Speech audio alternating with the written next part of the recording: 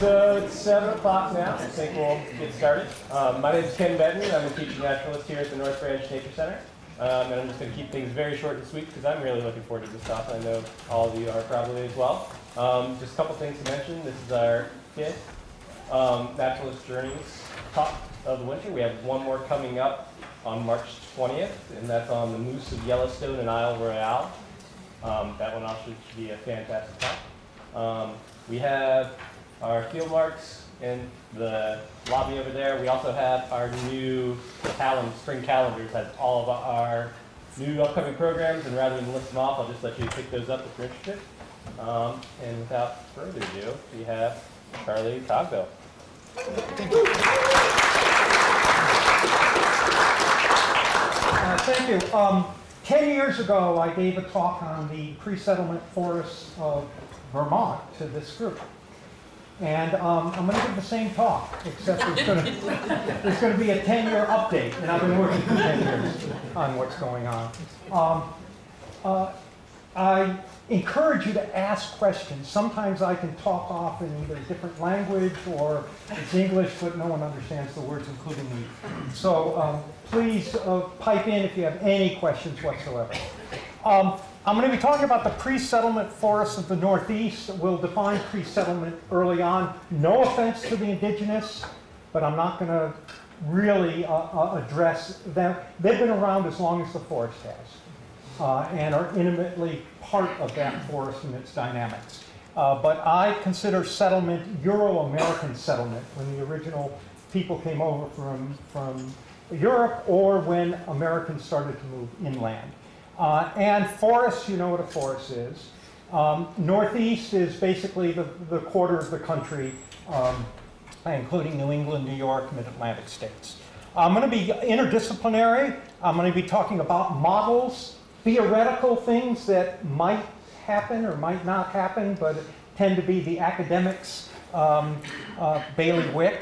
Uh, this, by the way, is uh, the diorama at the Harvard Forest, uh, the Fisher Museum of the pre-colonial forest. It's based on uh, a forest in Winchester, New Hampshire, the Pisgah tract that blew down in 1938. Uh, and uh, Harvard uh, owned it, but then lost what they consider to be the last virgin forests of New England, uh, they thought.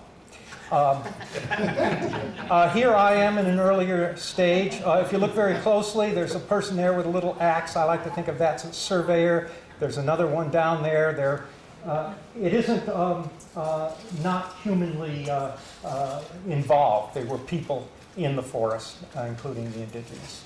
Um, here, we're to be talking about natural history in the field. basically, what's out there today? Can it tell us something what the original forests were like?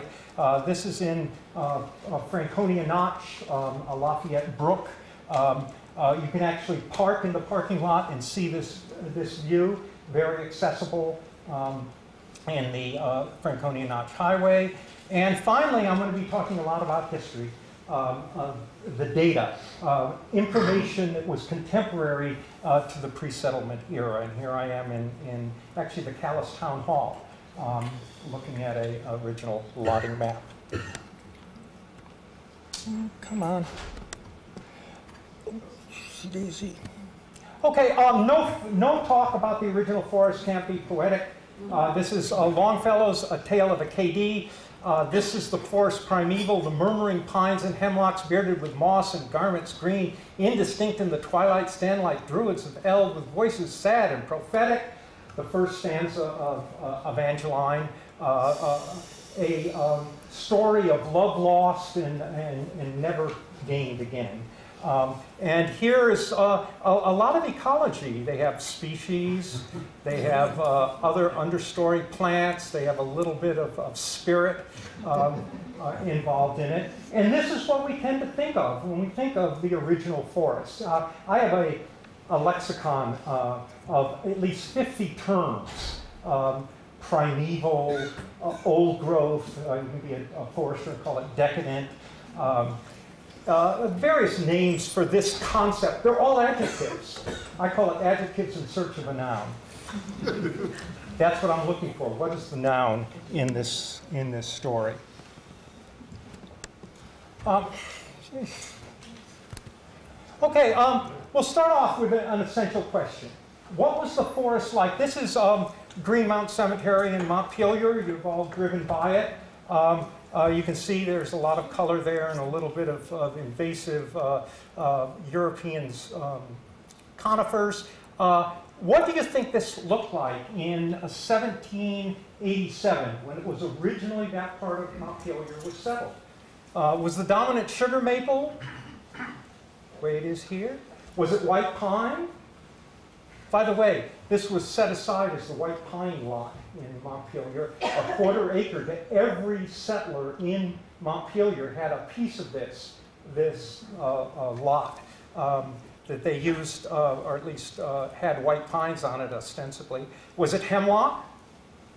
Was it beech? Was it yellow birch? Red spruce? Red oak? The south-facing slopes in the Winooski Valley have a lot of red oak. What was it like? Anybody think it was sugar maple? Well, good. All right. The state tree. Yeah, couldn't be better. White pine? White pine, yeah, yeah. Of, uh, Maine, the white pine state, that kind of thing. Hemlock? All right. Beech? Has anyone been to my talks before? Yeah. Um, yellow birch? All right, good. Red spruce, that's my totem tree, I'm voting. Uh, red oak? Okay, the essential question here is not what it was, but how do we discover what it was? How can we answer that question without a vote? Um, it isn't democracy, It- it's, it- it's science. So, we'll go on, keep that in mind. Um, this is really a tale, at least a tale of four forests. This is a picture from Hanover, New Hampshire, right above Lake Hitchcock. This is all glacial till. Uh, you can recognize the, the big class and the, and, and, and the uh, uh, uh, unsorted material here. Um, and um, uh, there are at least four forests that I see here. Everyone see the four forests? Okay, the one forest here is down in the organic matter where the till was laid down. That's the post-glacial forest. It's still there as organic matter, not as big trees. Um, then this is the, the really neat one. Uh, see, right, the stone wall? The stone wall was put down by the original settler or that cleared the land, and the forest floor that was there, he sequestered. He hid below the rocks so that we could come back 200 years later and see what was growing there.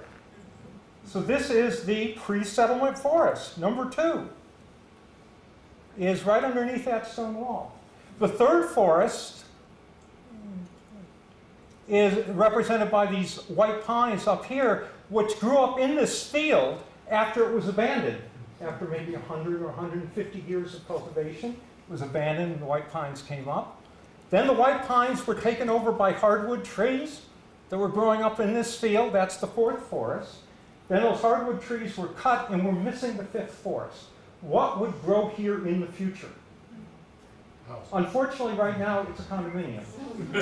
Literally, this, I can go to this. But it had four forests originally. Why do I get two for the price of one? Let's go back. Oh, I get it. Just delayed. Hmm.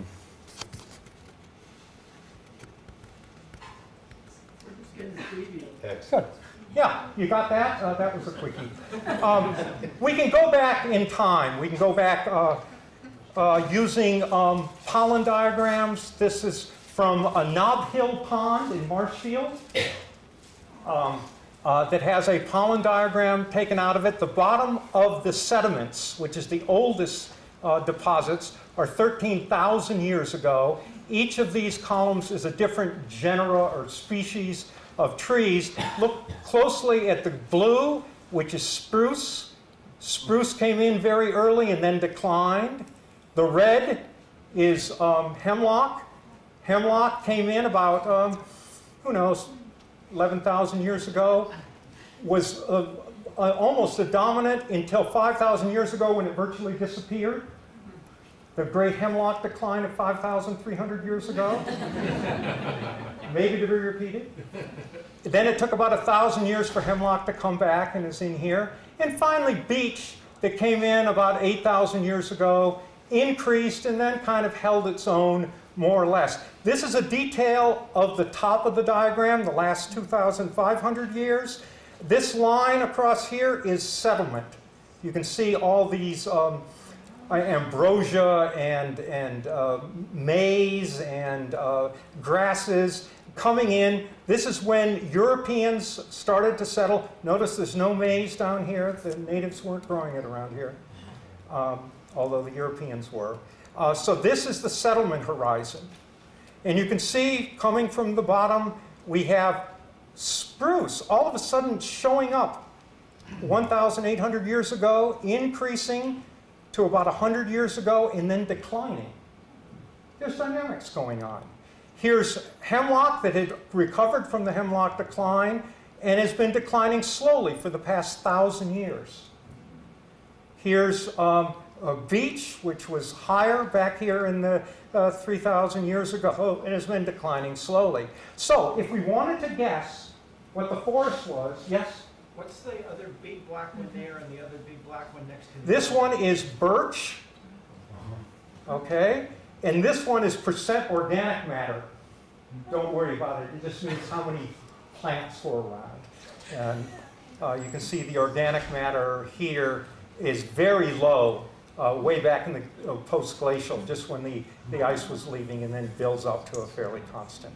Oh, there are a lot of details in here. You, you could, I could spend the entire time talking about this.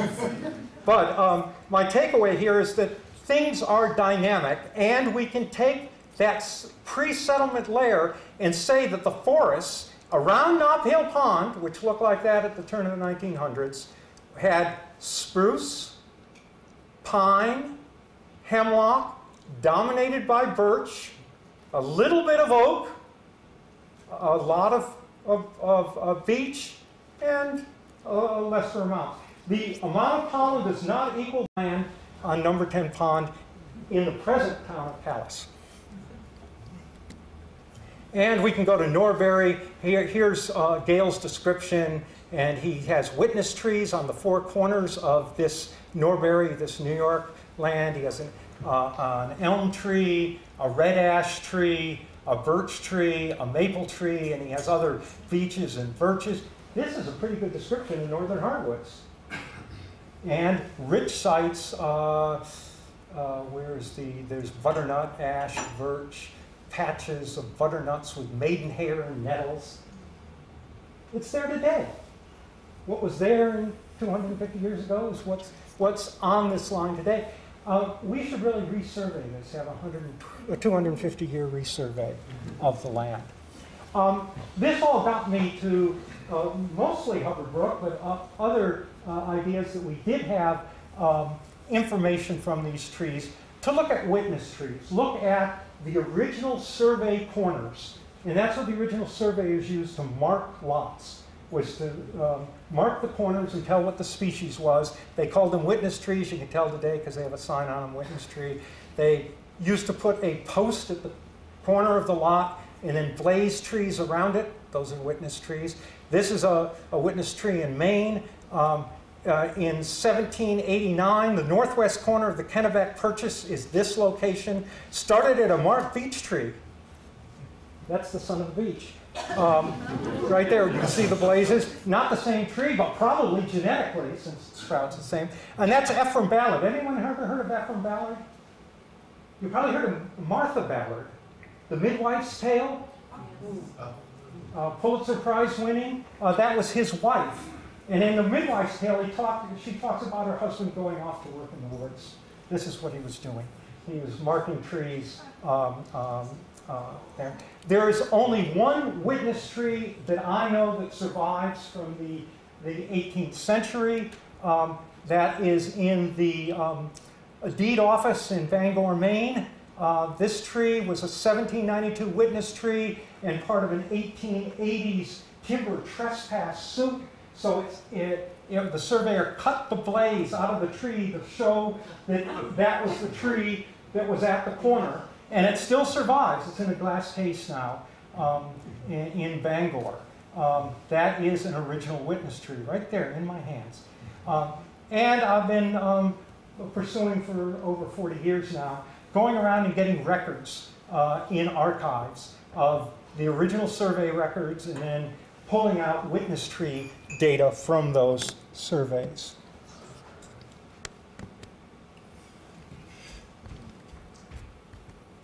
Okay, um, this just shows that, that work. Um, if you know the, uh, the former town clerk of, of Calais, this is a piece of parchment uh, that has an original survey on it. This is the, the, the vault in Montpelier with the survey of Montpelier. Um, there's a lot of records just sitting around.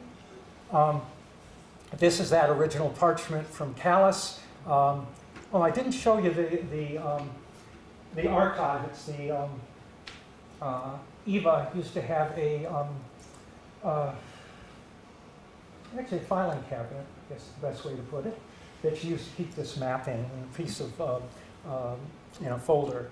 But here is the original uh, lots in Calais, and you can see at the corner of each there's an M, an M, an E. At this place, this is the Max Gray Road, or extension of the Max Gray Road that becomes the East uh, Road in, in Calais. And at that corner, there is a M, which is a maple. That is in the middle of the road. They didn't like to put the roads to the middle of the lot. They put them along the edge of the lot. And here's that corner. Uh, and you can see the maples lined up on the tree line. Unfortunately, the original witness tree is now long gone under the road. But we can add up what the composition was in 1783 uh, uh, or in uh, Montpelier in 1787. And here are the pre-settlement composition in central Vermont. Here are the Montpelier witness trees, 186 uh, on the map. And these are percentages, so the dominant was maple. Whoa, wow. But there's also beech, hemlock, spruce, much less of birch. In Calais, the dominant was beech, with lesser amounts of maple, hemlock, and spruce. In Cabot, the dominant was beech, with lesser amounts of maple and spruce. And very importantly, in the third division of Montpelier, this is the white pine lot in Montpelier. That original question, here's the answer to your, your, your you've been waiting for. Uh, beech, dom, um, uh, spruce dominated, 45%, beech 21%, um, maple 11, birch, Pine, none. percent is hemlock. hemlock, yeah, excuse me, 45, dominated by hemlock. Yep, hemlock people won. Uh, white pine, white pine, uh, there, there will be an argument that white pines were, were saved for their timber, so they weren't marked. But that's begging the question. A mm. blaze on a pine tree is not going to change its value all that much. The thing is that pines were big and obvious, but were very scattered, probably less than one per, per acre or one per quarter acre. It, it, it just wasn't all, all that abundant. What Yep. family is a lever wood? Leverwood. Uh, we're going to get to that in a second. Uh, the answer is hop hornbeam. Oh, Do you speak Latin? Ostrya virginiana. Um, uh, but uh, they didn't have that in Europe. So they gave it names here. And um, Leverwood is one of the local, local names. Uh, here's the composition, uh, again, in the towns in um, uh, central eastern Vermont. This is Plainfield. Um, anyone want to help me go through the town records? I've been through them several times. Um, this is Barre. Uh, Orange, we have Gale's original survey. But there are some towns missing here. And this is the composition with the greens being conifers, the reddish ones being hardwoods, the blue ones being uh, conifer, temperate conifers, hemlock and pine, and the yellows and oranges being oak, uh, chestnut, and hickory, the sprout hardwoods from the south. And you can see a dominant of this uh, russet color, which is beech. The dominant tree in central Vermont at settlement was beech. Charlie, Yeah. have you cross-referenced uh, beams and, and old buildings, for instance, built? I've looked at old buildings and mostly just the species. Um, And it is true that as you go from southern New England to northern New England, the, the timber framing changes. Changes from oak, white oak on the coast, chestnut uh, in the interior in the Hudson Valley, through hemlock in southern Vermont, and finally spruce predominantly in northern New England. But we don't have all that many really old buildings, but the ones we have, you should core, the, uh, excuse me, take a small sample out of the, out of the beams or the, uh, not the sills, but the, the joists and run under it. And you can get a anecdotal sample of what species were going locally. Even more so, you can get the growth rate of those trees and figure out, you know, what the climate was like in 1815 when we had no summer. Um, I've done this for over of 1,400 towns in the Northeast, and this is just, and this is the squinty-eyed view. See green up north, and it goes through the reds uh, through Vermont, goes through the blues here, which are these transition pines and hemlocks, light blue hemlock, dark blue pine, down through the oaks and chestnuts, mostly oak, um, down in southern New England. Also, um, uh, we don't stop at the border. This was all British territory. Uh, The Eastern Township has equal surveys, and these are witness trees from the Eastern Townships that are just in the database. Um, Yeah. How much clearing happened before there were enough settlers to split it up into towns? Um, The, the um, model was to survey before settlement. Okay. Because if you didn't survey, you didn't know who owned what. And at least in New England, they were proprietors. They were groups of anywhere from 50 to 60 people that bought the town in common. And their job as proprietors was to divide it up both on the land and then ownership. So the, the rule of thumb is survey before settlement. So you didn't have um, groups of loggers getting ship's mass and stuff? No, or squatters or, Yeah. or, or whatever. Occasionally you'd have somebody there, but remember this, these witness trees are on the edge of the lot, which simply means that the lot, um, um, actually it was, it's illegal to disturb a, um, a survey boundary. Still is today, don't take that pin out of your corner. Um, uh, the trees were, were to be, remain because they indicated the boundary between two people, and then you had to argue over your neighbor of who's disturbing it. You know, They're stealing from you or you're stealing from them. Uh, Come on. It's incredible work, Charlie. The giant pines for mass. No, no. Um, uh, A quick digression of the King's Arrow pine, uh, uh, starting before 1775, when the English crown still owned the land, all pines over two feet in diameter to reserve for the King's Navy. The records show that a thousand trees were sent to England for masts. Do you realize how much land for a thousand trees? You know, it's one town in southeastern uh, uh, uh, New Hampshire. Uh, we do have rumors that King's Arrow pine trees survived or there was poaching. There's no record whatsoever anyone being prosecuted over taking a big pine. There are nice stories of, of flooring in houses that's 23 inches wide everywhere. It could be 26, 28. The, the, the, the, the governor of New Hampshire wasn't, which was Benning Wentworth, by the way, he owned 500 acres in every town. He didn't have to come and, and fine you for, for using a tree on your own lot. So I tend to tamp down on King's Arrow pine. This is getting to terminology. Um, this is a maple vernacular usage. That is, uh, how many sugar maple trees were there in Vermont originally? None. They didn't have a name. Sugar maple was a Pennsylvania and, and New York name. This is the pre-settlement names. The name in Vermont was hard maple. If you're a real Vermonter, you have hard maple. And the other maple, that we might call red maple, down here, was called soft maple, hard and soft. If you're from Maine, you called it rock maple. And the opposite of rock maple was white maple. So we have different terms, um, local terms, vernacular. Um, the really neat ones are the, what we call ironwood. Uh, see these uh, green here? This is leverwood, the green in here, uh, which was a Vermont name for, for uh, this ironwood. Uh, in Windsor County, it was called Reman, only in Windsor County. In Maine, it was called hornbeam. And out in New York and Pennsylvania, it was called ironwood. And it also had other, blue beech is a different species, but it could be in uh, southern New England, it could be called hazel, not witch hazel. This is a tree hazel. Um, gum, gum is the best of trees. It, it doesn't, its uh, genus doesn't occur in Europe, and uh, it doesn't occur much in Vermont, although Colchester Bog and here down in, in southeastern uh, Vermont. But uh, around New York City in New York, it's called pepperidge. Everyone's seen Pepperidge Farm? Heard about it? Have you seen the logo of Pepperidge Farm? It's a mill with a maple tree beside it. Pepperidge Farm. Pep, uh, oh.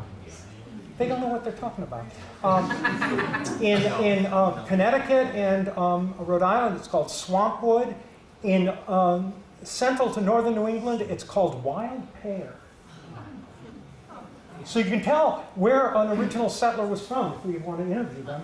Of uh, just what do we call uh, that? By the time they got to Pennsylvania, they're just calling it gum. You have the German and French names too? Yeah, there are uh, not much, and, and native names. Wikipe is is um, uh, uh, basswood in Algonquin uh, or Abenaki. Uh, we do have some Dutch names, um, uh, but uh, most of these. Are, by the way, most of the surveyors were Scots, the kind of uh, higher class um, of refugees um, uh, coming in. Um, that was a little bit biased, but yeah. Going going back a slide or two, so it was, it was hard maple in Vermont, the term for sugar maple. Yep. And then. Rock maple in Maine, and the pear was hard maple, soft maple, rock maple, white maple.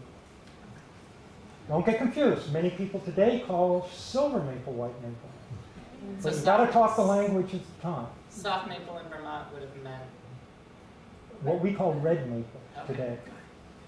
thank you. You said that they had different names because they didn't have the trees, the same tree in Europe. And it's certainly in ironwood and, and gum, it was the multiple names. W- Uh, when you get to, to maples, um, you're really talking about, um, they're, they're putting a species name on it. And the species names developed through time. Actually, the Latin names came before the species names, and they usually came from the species name. So Acer rubrum is the Latin name, so if you translate that into English, you get red maple. But the surveyors weren't talking Latin, they were talking English. So they called it soft maple or white maple. So what trees, if any, were identical to between Europe and? We share almost no species. We share um, maybe 70, 80% of the genera. So that, that's where the, the ironwood gets, gets, the hazel comes. In, in Europe, they have a hazel, which is a carpinus. So when they came here, they saw something that looked like carpinus, which was really Ostrya, that's now back to carpinus, that they called hazel. A little complicated. Um, these are the species distributions, and you can see that beech was in a, a band in northern New England. Maple was much less important, maybe 6%. In uh, Vermont, it got up maybe to 15% in some locations. Oaks, the dotted line is the current distribution of oak in um, 1990s. Uh, the colors are oak distribution, and you can see the dominance in southern New England, but the range is very, very close. In fact, I'd say the range from the pre-settlement is a better indication of the range than the range is today. It's been screwed around with logging and planting and all that kind of stuff. And pines, look at pines hardly any in, in Vermont. The dominant pines are out here on, on Cape Cod and in the Merrimack Valley and the Saco Valley, and that was mostly pitch pine. White pine was a, a relative rarity. Charlie, these are all current maps? No, all the colors are 1800. Okay.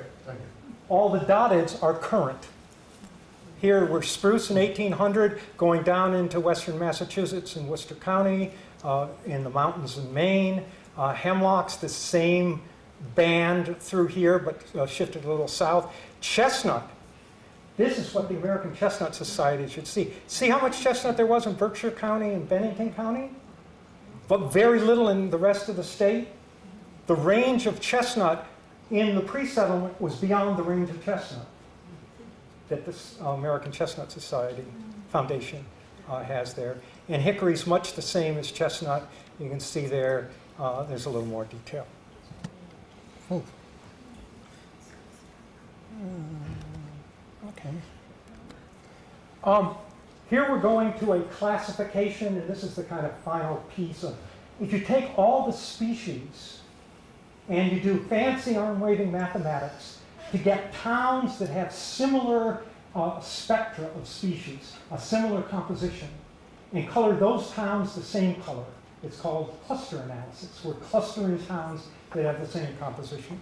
And here in Vermont, you can see the, the major um, Green Mountain chain has this um, um, color here. Uh, the Champlain Valley has a, a, a darker color, which is more northern hardwoods. In fact, there's some towns within the Champlain Valley that are getting over to that yellow color, just barely. Um, and then in the Northeast Kingdom, you have the green, which are the, uh, the softwoods uh, from the north. And this is the real map of variability in composition of forest types in Vermont in 1800. So wait, so what are, what do all the colors designate? The colors are just the colors. They are a cluster. They are towns that have similar composition. But what is, So- the- what is composition? Composition is the relative abundance of uh, the different species, beech, birch, maple, hemlock, pine. And you do a, you do a similarity, and then you do a, a matrix, and then you do a, a, a principal components analysis. So it's not forest community necessarily. Call it forest community, yeah. Okay. I call it forest type for, because it's simply associated with a spectra, a, uh, a set composition. Is the white just simply unidentified? White is no data. And here we are for the whole Northeast with the same thing. And I want to point out here that the greens and the reds separate from the yellows, oranges, and blues by a very distinct line. It isn't a straight line by any means. This is the tension line. The separation between the northern forests, dominated by beech early on, and the southern forests, dominated by oak. And there are a few really neat, look at this, in the, in the Merrimack Valley, in the Connecticut Valley, in the Hudson Valley, uh, in the Allegheny Valley, um, in the Susquehanna Valley, there are tongues going north of oak. Similarly, there's tongues going south in the Poconos, uh, Cam, um, Cambria County, Pennsylvania. It's an outlier. Uh, maybe it was the flood in Johnstown, who knows? Um, but uh, uh, an outlier there. This going down into northern Connecticut um, um, through the Berkshires uh, is an outlier. And then we have these northern areas. This is the Penobscot Valley. These are the Camden Hills. We have a very few towns, few scattered towns. There's southern towns that occur in the north, almost no northern towns that are- occur in the south. It's a very distinct line. Um, and it's a line between beech and oaks. You can see that line here. The tension line, the dividing line between the southern forest and the northern forest. Uh, this is a fancy um, analysis of that. If you look at the distance between towns and what the distance between their similarities, in other words, look at their geographic distance and their taxonomic difference. And you plot that. This is the geographic distance and this is the, the taxonomic difference. If you put all the towns together, it's the blue. And as you get further apart, they get less alike. And you cross the 50% line at about 150 kilometers. However, if you take northern towns, the green, or southern towns, and do them alone, don't mix the north and the south, you get the 50% line is somewhere up here around 400 kilometers. And if you go across the tension line, you just cross it by 27, 50% is 20 kilometers. In other words, the amount of change over the tension line is, for 20 kilometers, is equivalent to 300 kilometers, either north or south. It's very steep. It's the definition of an ecotone, a rapid change of ecological characteristics. Um, I've been working with the Paleon group, which is putting together these witness tree records for the entire Northeast. Uh, we're going from Minnesota to Maine, and this is these are from witness tree records from the whole area. And here is spruce, here is oak. You can see the tension line here. Uh, excuse me, it's right there. It Goes across, cross, cross, cross. Right through Stillwater, by the way. Where is he? Okay. Um, this is just a composition of the original forest over all of Vermont. 34% beech, 15% maple, 13% hemlock, 10%, or 11% spruce, 9% birches, ashes, and we have some other things. We have, uh, you know, um, butternuts and a few hickories, very few poplars, cherries, um, uh, chestnut. Um, any foresters out there? Cherries, poplars, chestnut, all growing in disturbed areas after cuts, in a lot of light. These species growing in shade. It's kind of coming around to climax on the backside. There are a series of species that, that represent shade tolerant and a, species, a group of species that are very rare early on that are shade intolerant. Um, I'm just about there. Um, uh, just to show you, there are other data that you can pull out of, of these records. This is the percentage of the survey line that's described as burnt and in red and wind thrown in um, uh, uh, blue. If you do some uh, high grade mathematics, take the reciprocal and assume that 25 years it's still visible, 1% equals 500 years return time. So, oh, excuse me, uh, 5% is 500 years. So these, the only place is in northern um, uh, New York and, and part of Allegheny that has a 500-year return time on fire at any location. None of the, of the wind throws come close to that. The wind throw is closer to 2,000-year return time. These are not the disturbances that dominated the early forest. We didn't have fire. We didn't have wind throw. Um, I've been working uh, on trying to get some more metrics. Uh, I can pull out a little bit. Uh, the witness tree, sometimes they measure the distance to the witness tree. You take one over that squared. That is actually the density of trees in that location. Um, and this, these are numbers from various areas of the Northeast, which is the density of trees more than 20 centimeters. Trees per hectare. If you're, if you're English speaking, you can divide that by 2.47, uh, two and a half, and you'll get trees per acre. Um, but this, uh, there's just a little glimmer of that, our pine. The problem is that Jersey uh, was two different states, East Jersey and West Jersey. Um, East Jersey has very good settlement records. West Jersey was Quaker, and their records are not as good. Uh, it was more common ownership. Um, also, you notice the Mason-Dixon line stops, and that's because southern plantation, large land holdings were the land tenure system in the south. And they have a very different survey. They survey the outlines, but the outlines tend to be very subjective.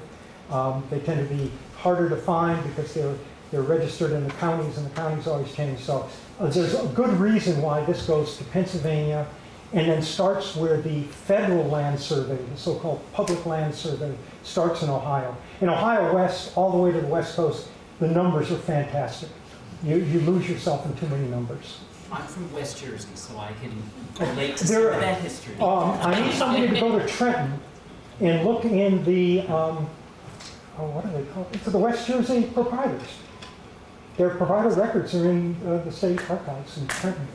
Yeah, do me a favor.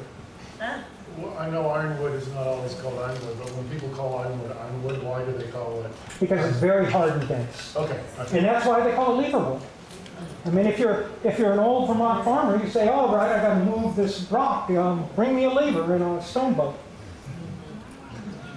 Thank you.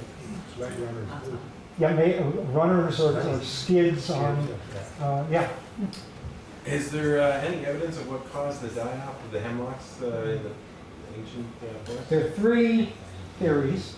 Um, in, in the same layers in the ponds, there, there are wings of um, hemlock um, looper. Okay?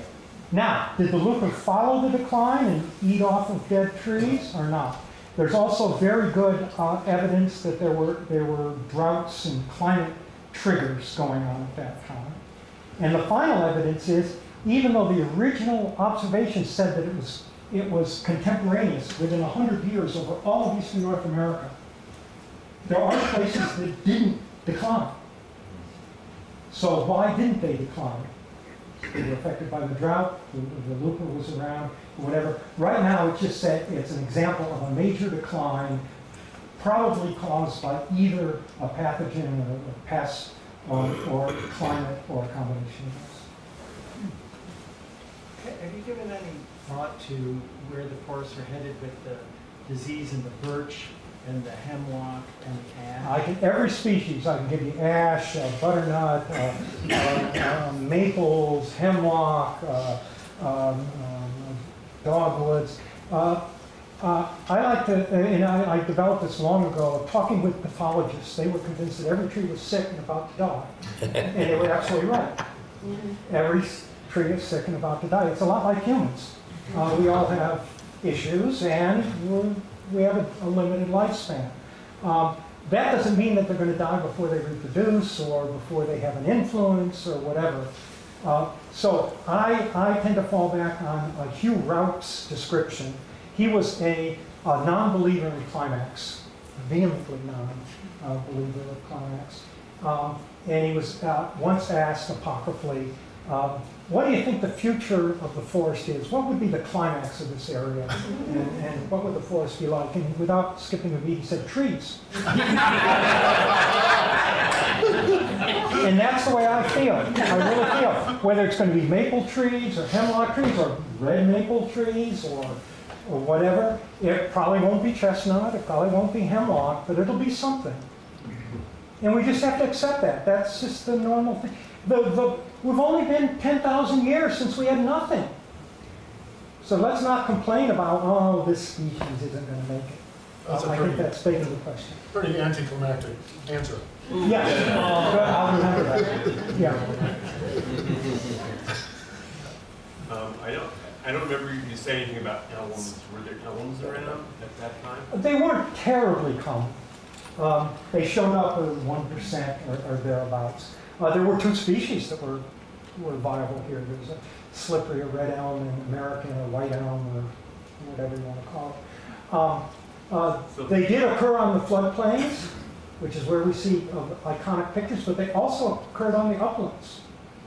And uh, at least right now, at least about 20% of the elms are resistant to uh, Dutch elm disease.